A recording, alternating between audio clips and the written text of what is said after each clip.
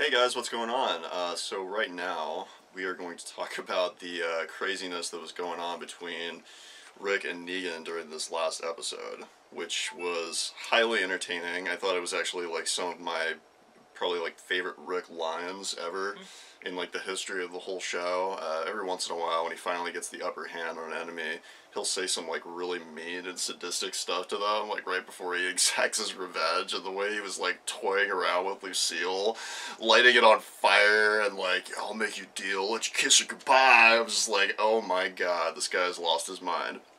Um, that was a great scene in that, that building that they destroyed with Negan falling through two stories and all the walkers that got lit on fire and stuff. Uh, awesome. Oh, and you know, um, what what was it? I can't remember. A couple episodes ago, they said that it was like a Tarantino reference to like Reservoir Dogs or something. Mhm. I thought that Negan's fall was another uh, low key Tarantino reference to Death Proof, where you have Zoe Bell on like the roof of a car, and, and, and prior to that scene, they talk about how she's this great stunt woman and how she fell in this ditch, and if anyone else had fallen, they would have broken their neck. But they call her Zoe the cat. And there's this like scene where she goes flying off of a car, and everyone thinks she's dead, but it's like she's a fucking cat, hmm. so she's perfectly fine. That's definitely like what Negan Yeah, he, he set him a He's- cat. yeah, he's not limping or anything. Like No. he, he fell like the perfect way to fall. So I felt like that was another like Tar- like whoever's writing this season. I think they re- are a Tarantino fan. love Tarantino. Yeah. Um, I, I feel like a lot of people sort of missed the, uh, the the point. Like you know when he chases Negan down, we don't really see like how the cars crash, but you know Rick empties like an entire AK forty seven clip into that car and purposely doesn't wait until he's up close to Negan to start firing. Um, a lot of people are saying like it's like an error in the writing that um, Or he can't. aim. or he can't aim. I feel like everybody missed the point. He wants to torture Negan. He wanted to like you know he he basically was like a cat toying with the mouse before he finally bites the head off. And, and and I agree with that point, but I also think there's another layer to it. Um, earlier in the episode, Rosita and Maggie are talking on the scaffolding, and uh, one of them says something.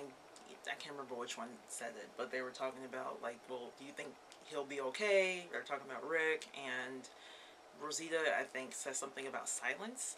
And I think for Rick at this point, if Negan's dead, right? If the war's over and Negan's dead, then the silence sets in. And if there's silence, there's insanity, there's madness. And a lot of grief because then he'll be forced to think about Carl nonstop. Yeah, especially since, you know, Carl, again, took the time to write, you know, one of, one of his last moments was dedicated to writing a letter to Negan. Mm-hmm. So, killing Negan, I don't think Rick deep down really wants to kill Negan right now because he's so conflicted about what happened to his son and, you know, a plethora of things. So, I don't think, you know, I don't think it was his, his like if you have a machine gun, you don't when the other person just has a bat, you don't have to keep your distance at that point. You can just run up on them and shoot if you really wanted to. Yeah, and he also like purposely threw the AK away when he hadn't even emptied the second clip before he went into that that house or building or whatever it was.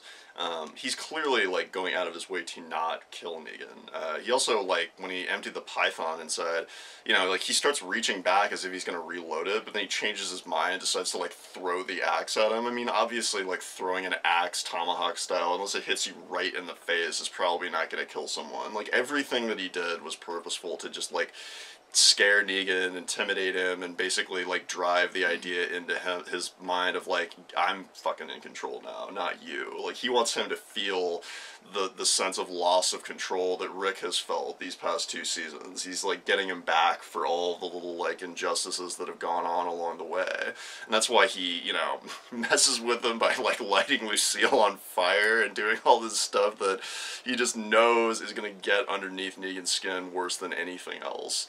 Um, I, was, I thought that was hilarious, by the way, when he like lights her on fire and is like, you know, come get her, and Negan just is, don't touch her, tackles him. Oh my god, he just turns into a whiny little bitch when it comes to that bat now, doesn't he? Mr. Tough Guy until that bat gets involved. Uh, He's got his own demons and psychosis, clearly. Um, Clearly.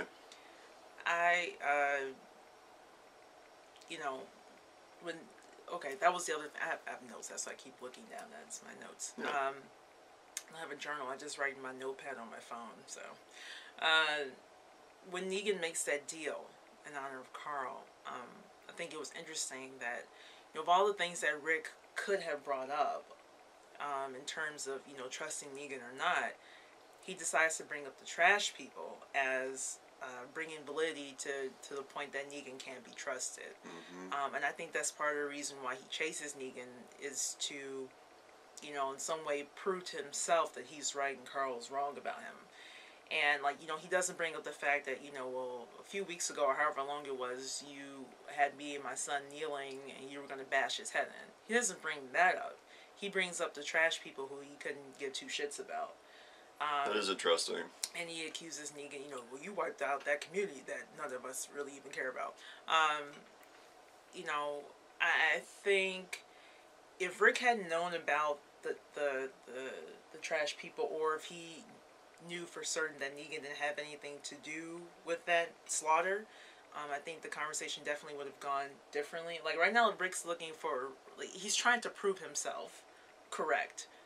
Um, he's questioning why Carl would think that, why Carl would do the things that he, you know, why Carl did what he did, and he's he's using that as a reason to like, you know, get get rid of Negan. But clear he's clearly at war with himself over it.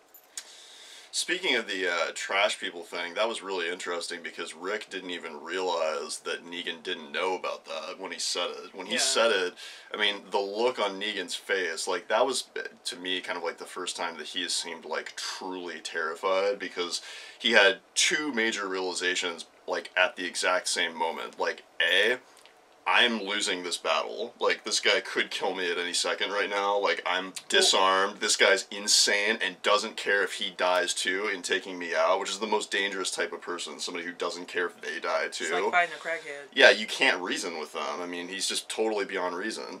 Um, and the second thing is that when he says that thing about Simon, he realizes, like, oh my god, like, my most trusted confidant totally betrayed me. And when, so it's like, even if he does get out of the situation with Rick, like, what does he do once he gets out of it and goes back to, like, a treasonous leadership? Well, well, I think he he's had his suspicions about Simon for a while, but that just confirms. he was pissed, though. I mean, he, like, he was definitely you know, pissed. He was but, like, but but we both know that he's been suspicious. He's been kind of sniffing around Simon, like you know. yeah. Um, so getting that confirmation, like he was so distracted by the betrayal that he didn't even, you know, contradict Rick at that point. Um, which you know, if if they, I just think if they had actually talked it out, or if Negan wasn't stunned by Simon's betrayal, or if Rick knew that Negan hadn't made that call, like that conversation would have been a bit longer, would have been more talking, and maybe less crazy on Rick's part. I don't know. Um, Rick was in the same like mindset as he was when he hacked Gareth to death. You know, it's just Um, like this I is revenge. I want to make you suffer Well, see, as much as possible. Like I, I disagree with that because with Gavin, that was Gareth, Gareth. Why do I keep calling him Gavin? I do the same thing. I think I did that on a different video. Who is Gavin? Is there a Gavin? well, Gavin was the name of that other savior who was in charge of the kingdom. Right. Okay. Gareth. Anyway, uh, Gareth Terminus. Um, Rick wasn't crazy though. He was totally 100% sane, and he was 100% right for hacking that guy up into pieces. Like, how do you roll up in the church to go, you know, kill and eat a baby and a child, especially if it was my baby and my child? I'm fucking you up too, and I'm taking my goddamn time. Um, this whole thing with Negan is different because you know Negan, you know, one, he's not a cannibal, and two, you know, it's clear that Negan held Carl in high esteem. He apologized to Rick for his loss. Like he, like that's something that even some of his own people didn't do. That's Like, true. Which is weird and disturbing in and of itself. yeah, You're getting condolences and like, They're like I understand you're going through something. yeah, they're yin and yang. Well, I no, well, Negan verbalizes what his own, like, excluding Michonne, he verbalizes what his own people cannot. Like, you know, you're going through something I can't even imagine, Rick, and I get it. Like, he's acknowledging his grief right now, which which is a powerful thing and also bizarre because it's Negan. But Yeah. I mean, it's clear that Negan cared about Carl and his. I mean, he had plans for him. he said that Carl was the future. That's Yeah. a, that's exactly what he said. Said that kid was the future. So no, he said is well before he knew he was dead, and Yeah. not to Rick, which means that he was sincere. yeah, I mean, I knew he was sincere anyway, but that's just confirmation that you know I'm talking to people, not Rick. He he talked Carl up and how impressed he was to his own people. Who was he talking to? I don't remember. Was it? It was either Simon or Eugene or so. Uh, I think Something like Simon. that. Yeah. Um, yeah, but anyway, to sum it all up, that was a, really, really great scene. I really liked the way that they did the dialogue there. Um, I thought that they, they did a good job of kind of like thinking through well what the two would say, and I thought it was quite clever how they set it up in the previous episode for Negan to not know about Jadis's like massacre at the trash heap until Rick inadvertently told him. That was just like really interesting how Rick didn't even realize like the gravity of what it was that he was saying to him and like and you know Negan probably wouldn't have found out until like I don't know, I guess he like tried to make a deal with Jadis again in the future or whatever and discover that they were all missing. So really really well done. This is probably one of my favorite episodes of the whole series actually um, because of little things that they did like that just from like a technical standpoint that was really really well done. Um, anything more about Rick and Negan? Those two need to have a sit down, and uh, Yeah. I think that's probably gonna come before the end of the season. Yeah, I think so too. Um, on that note, if you guys like our content, make sure to subscribe right up here in the corner. Also, check out our social channels, they're on the screen. And also, check out the blog, thelivingrichonne.com. As always, thank you guys so much for watching, and we will talk to you next time. Bye bye.